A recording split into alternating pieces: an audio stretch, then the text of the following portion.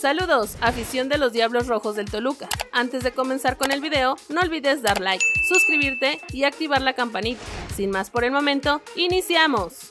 Aret Ortega se niega a salir pese a estar borrado por Nacho Ambriz. El defensa mexicano Aret Ortega no entra en planes de los Diablos Rojos de Toluca de cara al torneo Apertura 2023, por lo que la directiva ya estaría negociando una sesión a los Bravos de FC Juárez, luego de perderse todo el primer semestre de la FIO por una fuerte lesión. El canterano de las Águilas del Club América ha perdido el protagonismo en el equipo de Nacho Ambriz, por lo que su salida sería inminente de cara a la próxima campaña. Sin embargo, el jugador no estaría contento con su salida a frontera por lo que las negociaciones estarían pausadas. De acuerdo a información del comunicador Fernando Esquivel, el joven futbolista mexicano no quiere salir a préstamo con los Bravos, pese a que las directivas ya se habían arreglado. En información conjunta con Carta Gol se puede confirmar que las negociaciones están trabadas, pues Aret no gusta de ir a Juárez. A pesar del acuerdo entre directivas y que para Ambriz no cuenta, el juvenil no estaría aceptando la sesión, compartió. La propia fuente indica que la directiva de Juárez estaría analizando mandar una nueva oferta para convencer al jugador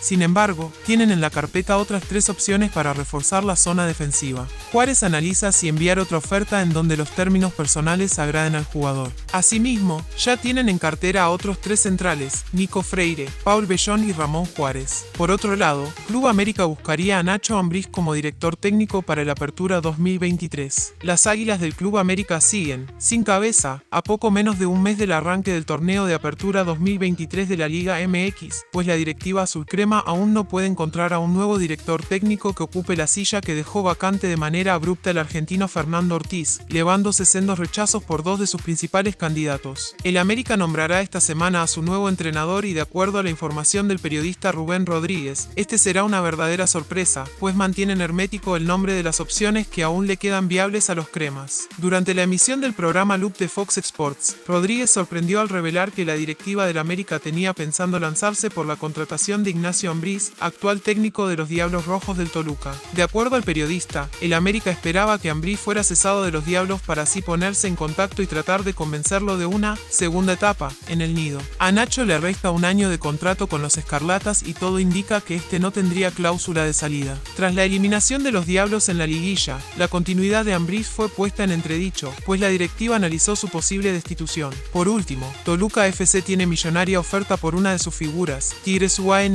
quiere su fichaje. Los Diablos Rojos del Toluca podrían verse tentados a soltar a uno de sus mejores hombres en el presente mercado de fichajes de cara a la apertura 2023 de la Liga MX, pues los Escarlatas tendrían una tentadora oferta de los Tigres de la UANL por el fichaje del extremo chileno, Jan El Taques Jiménez. Desde Sudamérica se asegura que el flamante campeón del fútbol mexicano estaría buscando reforzarse con el futbolista andino, por lo que ya habrían presentado una millonaria oferta al cuadro choricero. De acuerdo al reportero chileno, Rodrigo Arellano, los Tigres han puesto hasta 7 millones de dólares por la ficha de Meneses, una oferta bastante tentadora para un jugador de 30 años, aunque de calidad probada en el fútbol mexicano. Meneses juega como extremo izquierdo derecho, además de media punta. El chileno tiene contrato firmado con el Toluca hasta el verano del 2025 y actualmente está tasado en 5 millones de euros en el Portal Transfer Market. El y ha jugado para el San Luis Universidad Concepción de Chile, Club León y el Toluca en la Liga MX. Los Diablos pagaron casi 6 millones de dólares por el sudamericano en el verano del 2022. Menzi suma 194 partidos en el fútbol mexicano, registrando 31 goles y 30 asistencias.